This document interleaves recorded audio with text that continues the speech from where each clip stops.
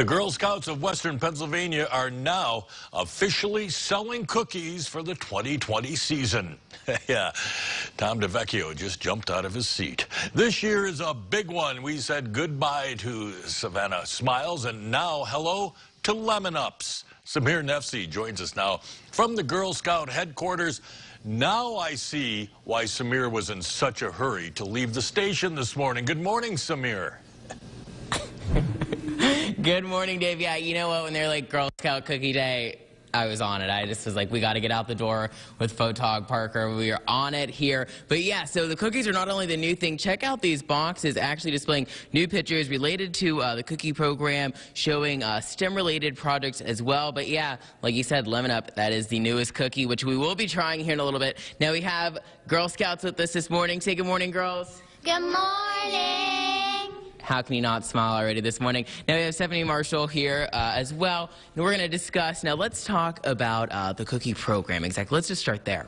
So the cookie program is that it's a program. It's based on entrepreneurship. It builds the girls business skills from goal setting decision making money management people skills learning how to make that ask look someone in the eye that you don't know and say will you buy a box of girl scout cookies?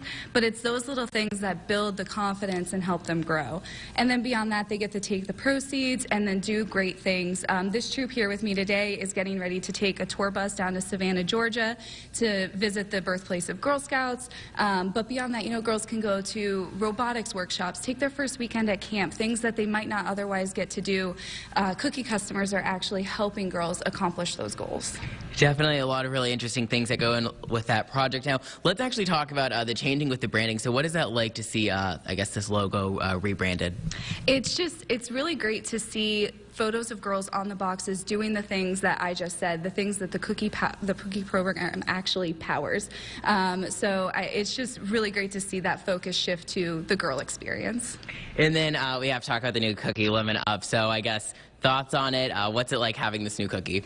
I think it's just so great that we get to freshen up the cookie lineup every year or every so often. Um, and what better way than with a fresh lemon cookie? Um, so we're just so excited. And a new cookie year is just so energizing for the girls. Definitely. And it looks delicious. They smell delicious. We're going to stay down here. So we'll send it back to you in studio, Dave. But uh, what kind of cookie, I guess, do you want to try later? I'll take them all, Samir. Uh, those are looking really good Girl Scout cookies. Thanks, Samir. We'll talk to you soon.